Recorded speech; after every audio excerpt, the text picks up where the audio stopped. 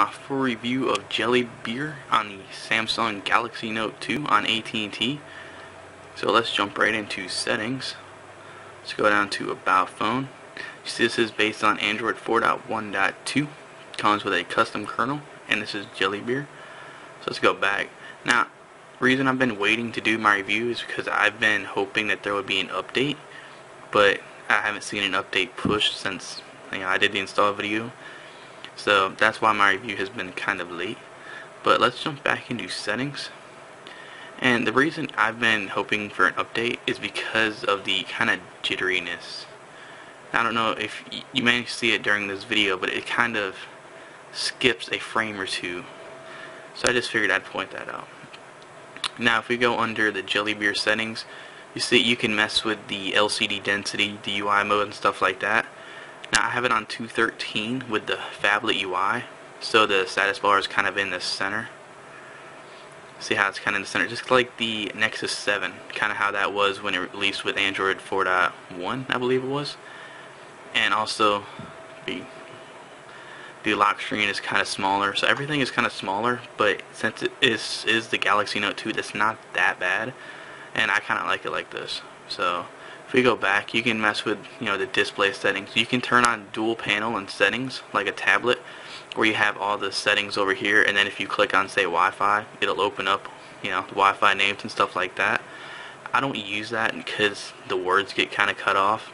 But if you change it to a DPI, like 120, then those words won't get off, you know, won't get cut off. But everything will be like really small. So that's why I don't have that enabled. You're gonna have your custom carrier label. One thing, I don't, this may not bother you guys. See how the carrier label is down there? Sometimes for no reason it jumps up, like where it's underneath the little toggles. I don't know why, but it just kind of jumps up there randomly. So I figured I'd point that out as well. So I mean, I know this is kind of, you know, a work in progress kind of ROM. I mean, it is fully stable and everything, but there's just a few little bugs. You can show your Wi-Fi network name I can get it to show up. I don't know if it's just me. You can use the alternative allocation picker, which is like from the you know gingerbread days. I don't know if you guys remember that. You can have a custom background, stuff like that. You can have your own clock position. I have mine in the center. You can choose your background color for the status bar. So if you want to, you can have a transparent status bar. Won't really show up there, but you see it's transparent on the home screen.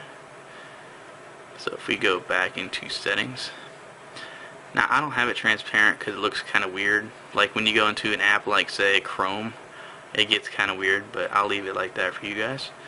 And you, you know, just like AOKP, you have your day of the week, and you have your, but this is different. You have month.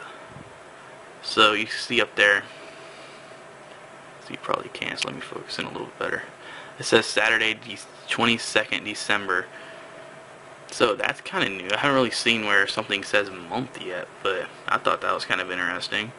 I don't use it because it looks kind of weird, but I'm going to just hit none. And also you can have your custom boot animation. Now, there is an app by JRummy that lets you change your boot animation, of course, but you can have, you know, download one off XDA. I don't use the navigation bar, but it's just like the Nexus where you have the back, home, and the recents. You can't change the targets, like the navring targets yet, but I'm sure he will implement those soon. And you can also have your navigation ring, where you press on hold home when you, you know, go to Google Now. You can have two custom apps on the side. Now, it makes me restart if I enable the navigation bar, so that's why I'm just kind of telling you guys about that. Now the power menu, you guys should know the power menu. You have screenshot, you have your reboot options of course, but you can prevent show power menu. So say you're you know, you have power menu somewhere else, you can change if you want it to show up or not. And of course you have your toggles. So these are the AOKP toggles. You can have two sets of toggles. You can have the AOKP ones right underneath those, which I think is pretty neat, but I don't need that many toggles. But if you do, you just gotta go to enable toggles and say you want Wi-Fi, airplane mode, vibrate, silence, torch, and say swagger because you know you're awesome like that right? Now when you pull it down you see you have those toggles as well. Well I mean it's it's a neat feature but I don't need those that many toggles so disable the vibrate and close that.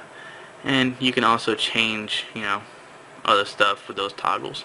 Not really going to get too much into those. Now the interface is where you have all the CyanogenMod stuff. So under lock screen you of course change your clock alignment have your custom background your info battery status weather stuff like that but I like that you can have your own custom slider shortcuts so you see I, I have my camera Google Plus Google Now Falcon Pro for Twitter and I have the unlock. The clock is centered, like I have it in the center, but it doesn't really look centered. Like, I don't know if it's just me or not. But this also brings me into another bug that I found. I don't know if this is just the ROM or the phone itself, because it does this on TouchWiz as well. Now, I'm going to press the home button. See how long it takes for the screen to pop up, you know, for you to be able to unlock it? I'll do the same with the, with the lock button. See, it takes a second or two just so you can, you know, unlock your phone. Which, I mean, it's not that big of a deal, but it is kind of annoying when you're trying to get into your phone really quick. So I figured I'd point that out there for you guys. Now, if you go under System, we have your status bar where you can show the clock, have your AM PM style, which I don't know why they have that there, but they also have like the AOKP settings. So, you also have your CM circle, which I like the CM circle battery, see up there. You can you have your brightness control. I haven't gotten it to work. You know the brightness control where you press and hold on the status bar and you slide across. I haven't gotten it to work, but you guys may. Now if you go into notification drawer, this is where you choose these CyanogenMod toggles. Which I like their CyanogenMod mod toggles better because they just look better to me. But I mean it's just a personal you know preference. And if we go to wallpaper, you can choose your own custom wallpaper, font size, power menu, you can choose which option options are in the power menu and hardware keys. So you can set custom actions. So say you want long press on the menu to be your Google Now, you can set that. If you want long press on back to kill an app, you can also set that, which I think is a neat feature. So let's go back. You also have your custom theme chooser, which works well. See, I don't really have any themes but that one that I downloaded off, follow him on Twitter. And that's pretty much it for this. Now if you go under sound and stuff, you still have your volume panel where I have it ex expanded. You have your custom CyanogenMod ringtones. And if you go under display, you can enable rotation for 360 degrees. So if you want to be that kid that holds their phone upside down, you know. Um, other than that, you have you do have your advanced options menu though, which I don't really mess with the colors and stuff like that but you know again I say if you guys mess with stuff like that go ahead we have our performance which we can't really use. You see they're grayed out but you can at least change the governor which is pretty neat. Now let's go into the apps that come with this. I love the Apollo music player. You can download it off the market but you know it's a paid app. I don't know why but so they have Apollo DSP manager. Someone mentioned to me that it doesn't work for them. It works fine for me. If I play any song with, you know, with my headphones plugged in using Apollo or play music and I, you know, change the settings in DSP Manager and use it and activate it and stuff like that, it works fine for me. I don't get any forced closes or anything like that. But if you want like a different, you know, equalizer app, just search the market for equalizer and it'll, it'll come up with like a little custom app that you can use. You won't have any issues with those. But I like that it comes with the new Super User instead of Super SU. That's also another big plus for me. But it does come with the 4.1 camera, which is kind of a shame because the camera is really finicky. I don't know if that makes sense. But I mean, it takes pictures really good, but recording, it's pretty terrible at, like when you try to record something. But I mean, you don't have any custom settings so you can use your power button as the uh, camera shutter button if you want to. I'd, it'd be nice if you could use the home button as a camera shutter. See, because, you know, but you'd have to have the software keys enabled and stuff like that. But you can have burst mode enabled, which it works, but kind of like lags a little bit, if that makes sense. Now, if there is an updated, you know, build for this, I would definitely be posting it won't be a full review because this is my full review, but it will be a quick look at you know the updated version of this. But I have to say, I'm going back to Jedi ROM for this phone. Because the TouchWiz features, you don't really know that you miss them until you install something like this. But this is a really good choice for those that want AOSP. I know I'm just showing you guys launcher, but everything about this, you know, it has AOKP features, it has Paranoid Android features, it has CyanogenMod features.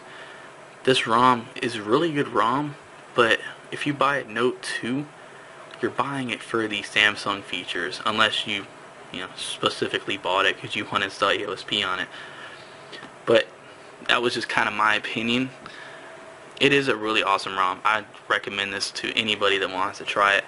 Now the GPS, when I was using the Ingress app, it, yeah, it didn't really work all that well. So GPS is kind of an issue. I don't have a Bluetooth device, so I can't really test Bluetooth. Wi-Fi works perfectly. 4G LTE and HSPA Plus work perfectly for me. But if you like this video, be sure to give it a thumbs up.